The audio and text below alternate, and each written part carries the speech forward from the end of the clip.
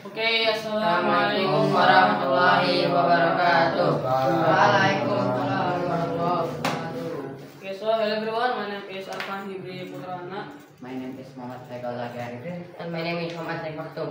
and today we want to tell you about importance of, keep, of keeping your uh, word. From the first is the table of content. The first is introduction, and then the second is uh, important guarding your word, and the third is the priority keeping your word, and then the last is closing. So, why guarding your word is important? By guarding your their tongues, Muslim will avoid words that lead uh, to sins one day. And Rasulullah Shallallahu Alaihi Wasallam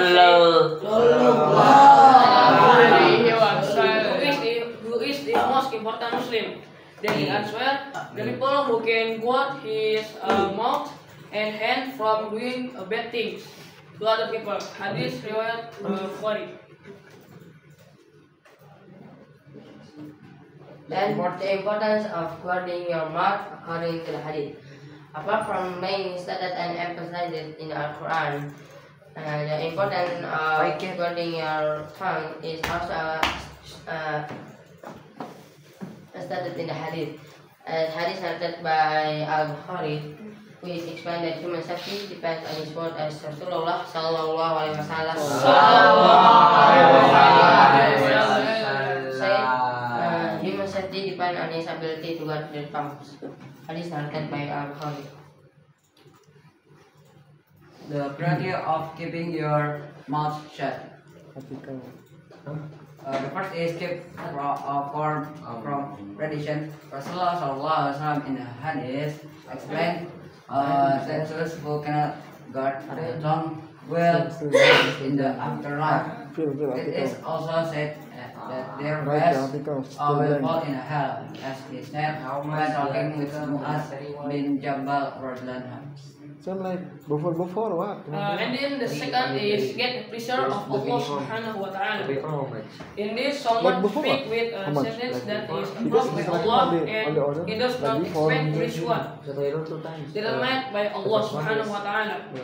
Then Allah Subhanahu wa Taala records His pleasure on the day He meets uh, Allah. Yeah, focus Majah, this- Imam Malik, and Ahmad. This year. What? The first, the first. Not the first, right? And then the third is Rasulullah Sallallahu Alaihi Sorry, sorry, Wasallam in yeah. No, then page. Uh, protecting your tongue is the foundation of government. With good Yeah. morals, you can uh, close it to Rasulullah Sallallahu Alaihi Wasallam in heaven in the future. And the last is Muslim will avoid words that uh, lead to sin. Uh, one day Rasulullah was asked who is the most important Muslim. Then he answered people who can guard uh, their mouth and hands from doing bad things to other people. Uh, okay guys, maybe that's all from us. Wassalamualaikum warahmatullahi wabarakatuh. Waalaikumsalam